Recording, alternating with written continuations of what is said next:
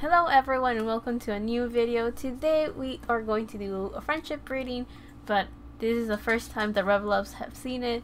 This friendship reading has a set um, layout and questions and everything that I have made for this reading and this time as you have read in the title is going to be a friendship reading between Seulgi and Wendy. So let's just jump into the reading and get to figure out about their friendship.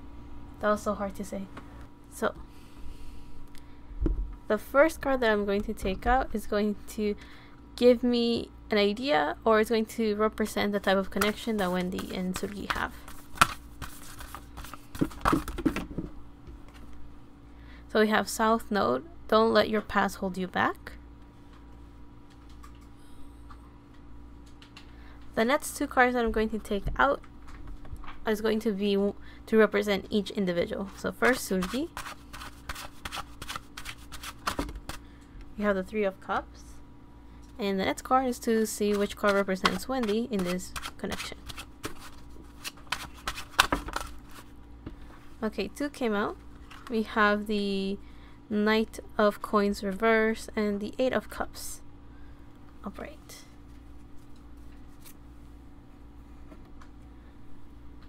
So to represent their friendship, we have South Node, don't let your past hold you back. So this made me think that both of them probably have a type of relationship where they both look back into the past and maybe try to heal all of that or if they're aware of it or not, I'm not too sure.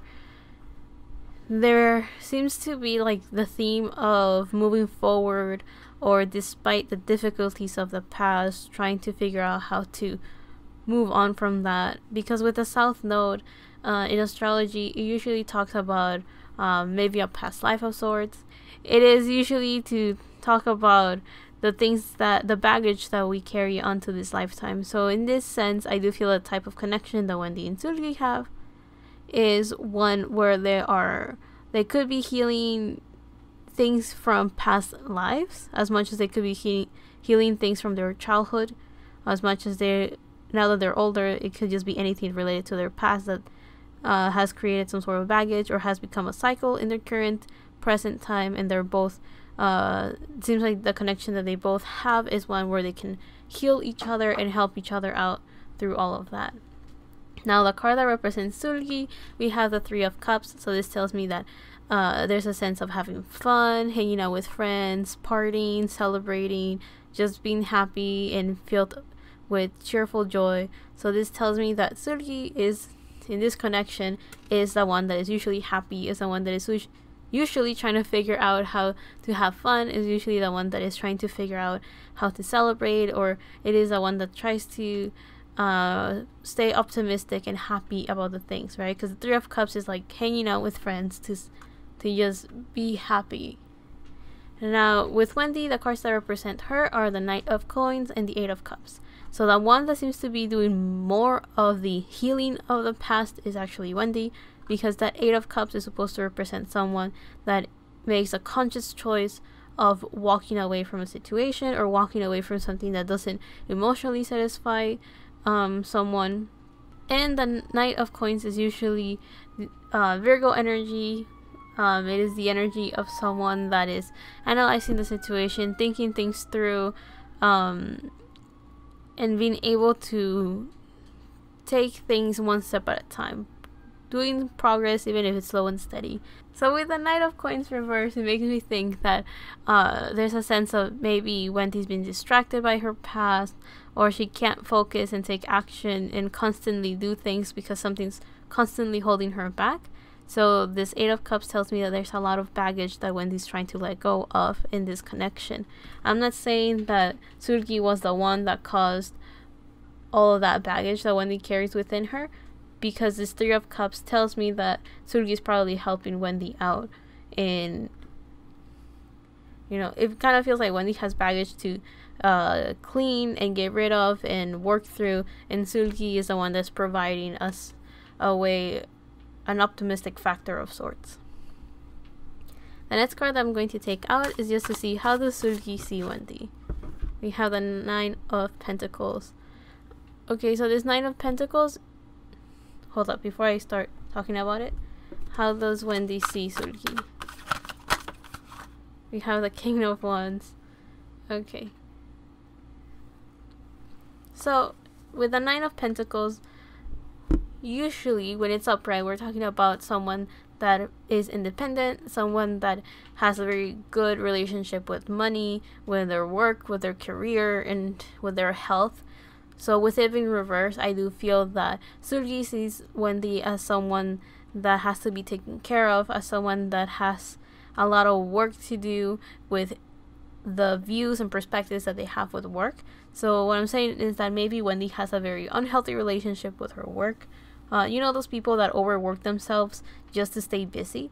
Uh, that's the type of energy that I'm getting. So I wouldn't be surprised if Seulgi feels like she has to take care of Wendy or feels like uh, there's still a lot of things that Wendy has to learn or there's a sense of despite all the things that Wendy is, Wendy doesn't feel independent or something like that.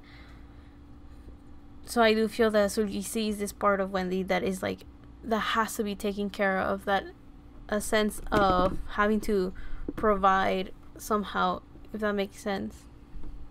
Something something along those lines. Now the way that wendy sees Seulgi is as an individual that is very mature because we have a king of wands it is an individual that knows when to take action and how to take action. It is someone that is motivated and very passionate and knows how to use that in their favor. Instead of being reckless and impulsive, it is actually used in a way that can manifest as healthy action or just making dreams come true. Here we have Aries energy, so this tells me that Wendy sees Seulgi as someone that is able to do what um, they desire and what they're passionate about and, and make their dreams come true. Almost, I'm thinking of like Wendy sees Seulgi as a force to be reckoned with, right? It, it's kind of like when Seulgi has her mind on a goal or something, she puts all of her energy into it, and seems and it seems like that's the impression that she has left on Wendy. The next card that I'm going to take out is just to see how the Seulgi and Wendy like to spend their time together.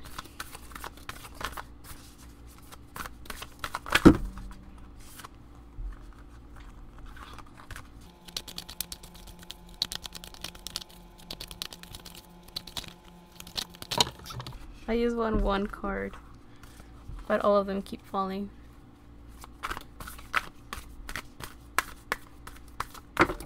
Okay.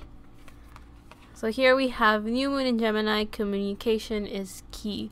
So it seems like the way that Wendy and Seulgi like to spend their time together is just by talking to each other, um, maybe texting each other, talking on the phone or in person, have very long conversations, it feels or maybe having an intuitive con- uh, communication with each other or self-expression. So both of them are art are artists. So maybe through the art that they use is a form of self-expression and that is a form that they like to spend their time together. I mean they are co-workers and i do feel that both of them really do enjoy what they do as artists. So i wouldn't be surprised if that's one of the ways that they love to spend their time together. Um, but yeah, communication is key. Makes me think that both of them uh, really like when they have those deep conversations.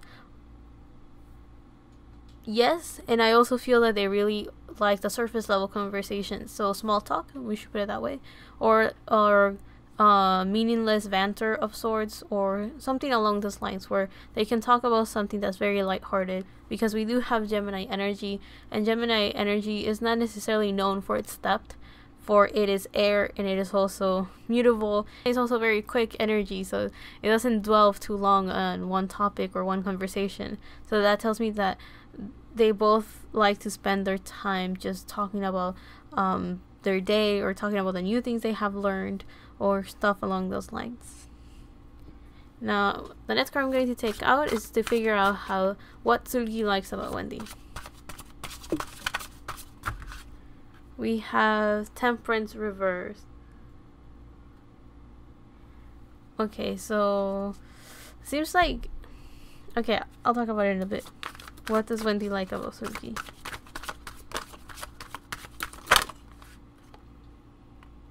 we have the knight of swords reverse So what Seulgi likes about Wendy is I think Seulgi finds it very cute or ador- adorable that Wendy seems to not have patience for anything or I think there's this sense of taking care of Wendy that Seulgi really likes um, because with temperance we're talking about someone that's impatient.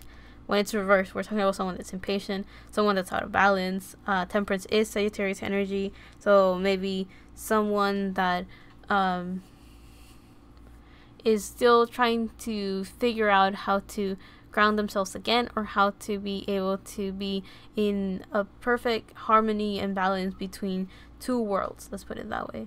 And with it in reverse i do feel that Seulgi really likes how um, wendy is constantly working towards having that harmony and all of that.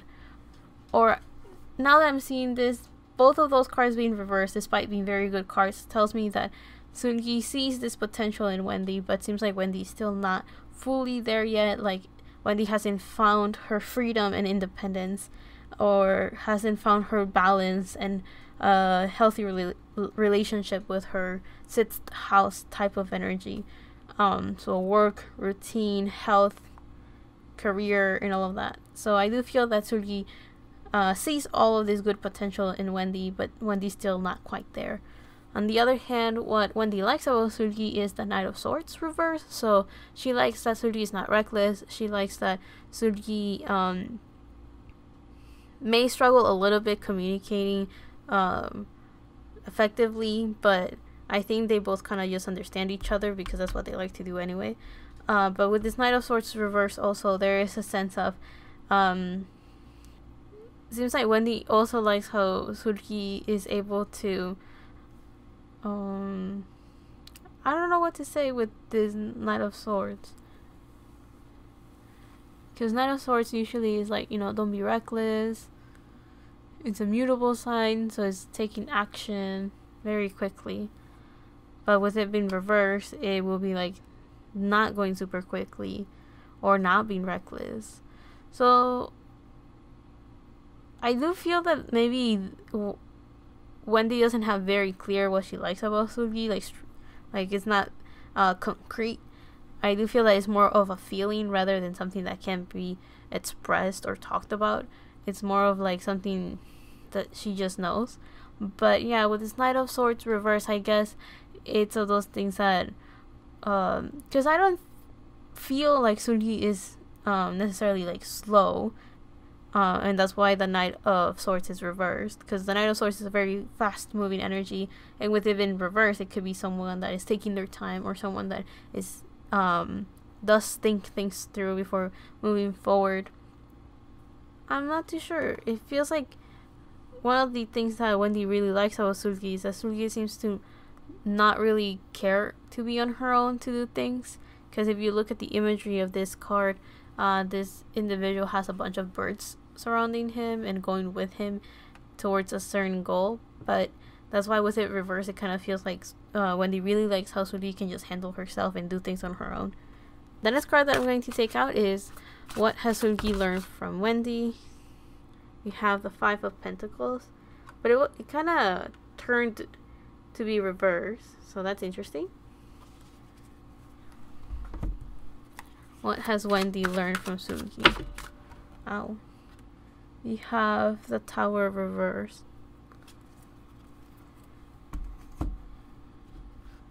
Okay, so from Seulgi, the Five of Pentacles, one of the things that uh, Seulgi has learned from Wendy is um,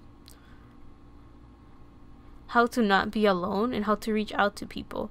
So the Five of Pentacles upright usually talks about someone that feels left out on the cold, someone that feels abandoned, or someone that feels uh, that they're left out to survive and fend off for themselves. But with it reversed, it kind of feels that uh, Wendy came in like a to help Seulgi out somehow as well. And because of that, Seulgi feels like she can rely on someone. She feels like she could ask for help. Uh, Seulgi has learned how to communicate to others or how to work with other people better.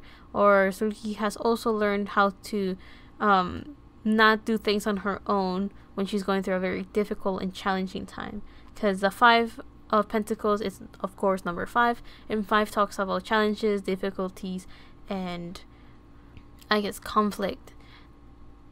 A little bit of change to give individuals an extra push of learning and knowledge. So with it reversed, it definitely feels like Seulgi has learned from Wendy how to ask for help and how to work with other people better.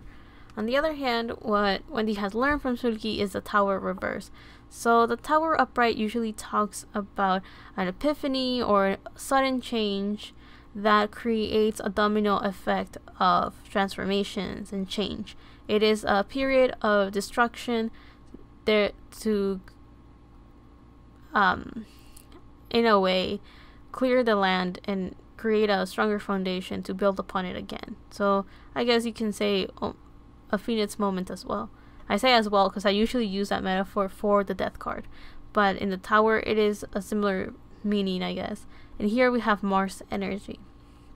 Now, with it being reversed, I usually see this as uh, people that are trying to avoid their tower moment, or despite the tower moment is very, very difficult. So, an individual is having a moment of restraint and a very difficult time with this destruction of that the person has encountered.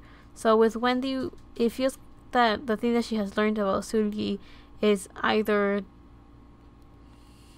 to not be stressed out or afraid of big changes that the tower can bring. The tower can create um, big waves, I guess you could put it that way. Um, it can definitely destroy the structure or the foundation of whatever project or whatever journey Wendy has gone through. And I think one of the things that Wendy has learned from Seulgi is how to bring herself back up. Because when I saw the tower reverse, I actually didn't feel anything bad. So I don't think there's this sense, there's no, I don't feel resistance or I don't feel that the tower is being overbearing and super difficult and challenging for Wendy. It kind of feels that um, one of the things Wendy has learned from Seulgi is how to um, face difficulties and challenges right on, and has learned that sometimes those difficulties are bla- blessings in disguise, right? If if a project fails or it doesn't work out, is for a reason, is because there's something better out there, or it wasn't the thing that was right for Wendy, and so on, so on. So I do feel that Wendy has just learned how to be a bit more optimistic about things, and has learned how to um, see things with, I guess, with optimism in a sense, I guess and also how to work our way through that. The last card that I'm going to take out is going to tell me why the Seulgi and Wendy meet.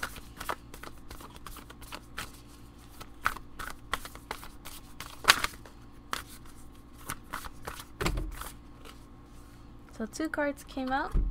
We have Full Moon in Capricorn, the end of a tough cycle approaches.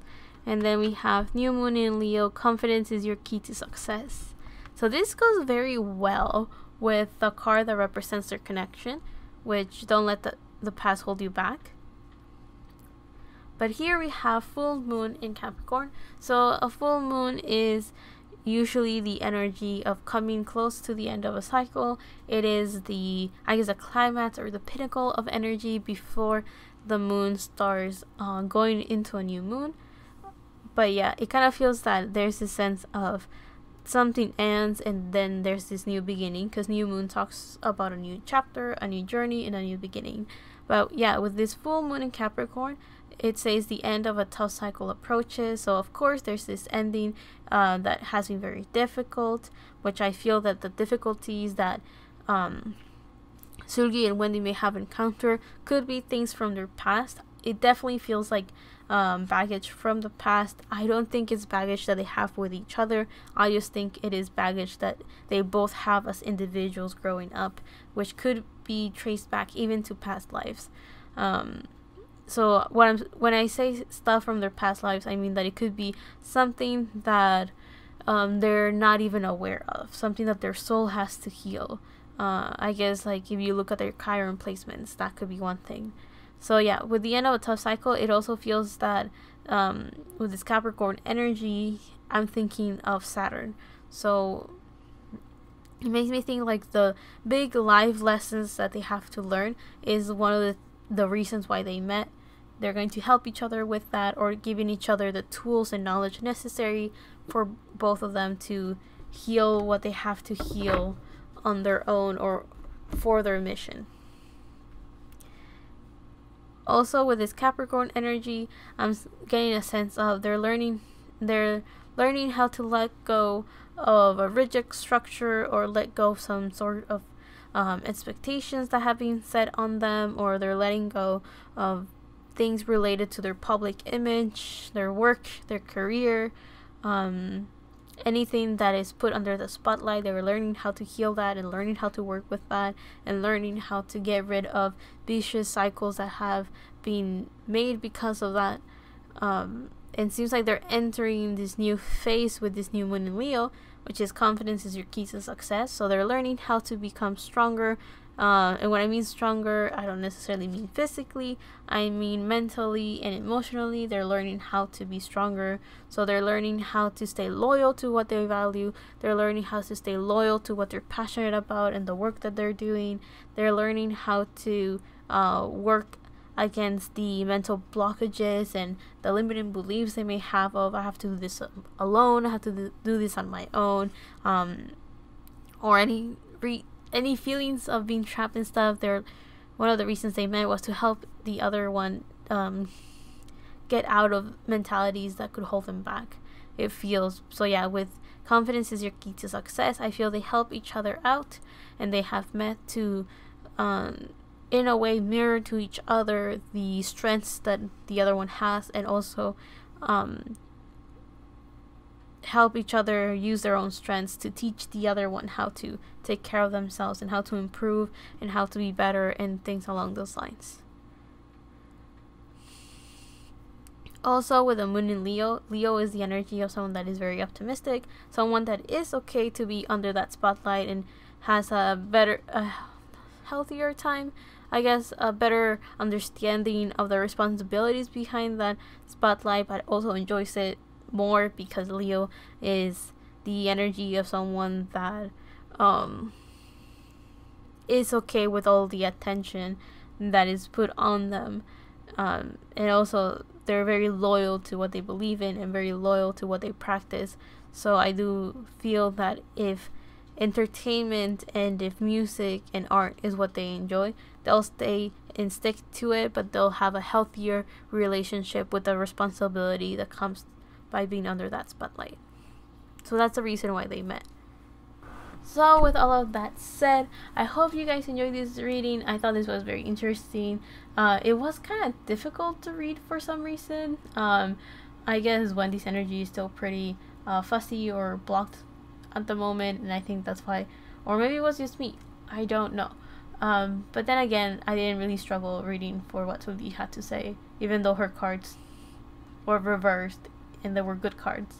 So to me, that was kind of like counterintuitive somehow, right? If you want to say something nice about someone, why are these cards reversed? But yeah. Anyway, I'll leave that there. I'll see you on the next one, whenever that is. Thank you so much for watching, and yeah, love and healing from my part to you and bye.